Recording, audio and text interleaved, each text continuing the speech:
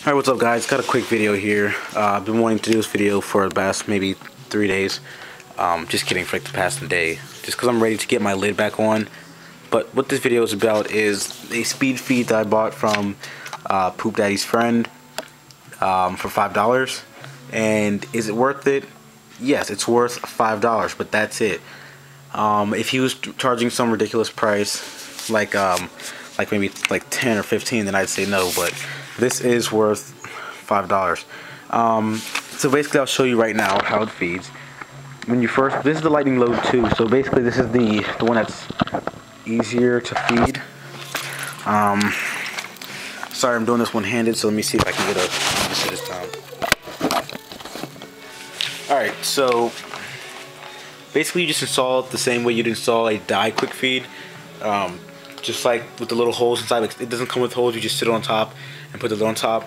So it doesn't feed too bad. I mean give it a little shake and you got them pretty much all in there. But um you know.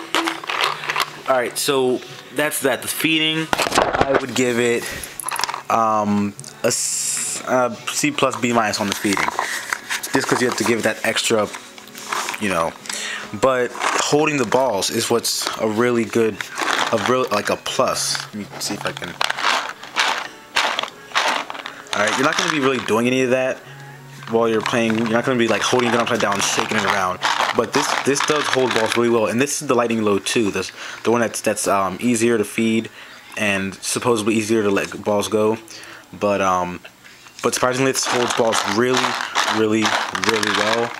Um, so five dollar investment, go for it.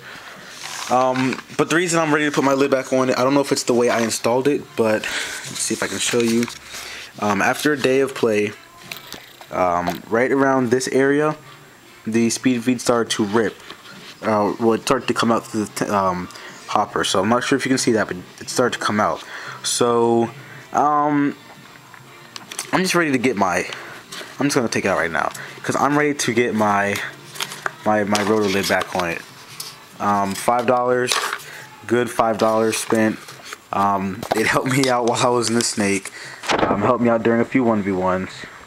But, um, I don't know. I'm just going to put my tank back on my, uh, my, my lid back on because, I don't know. I don't know if it was just me, but mine started to rip, so let's get up, see how quick we can do this. The rotor might have low batteries, I don't know.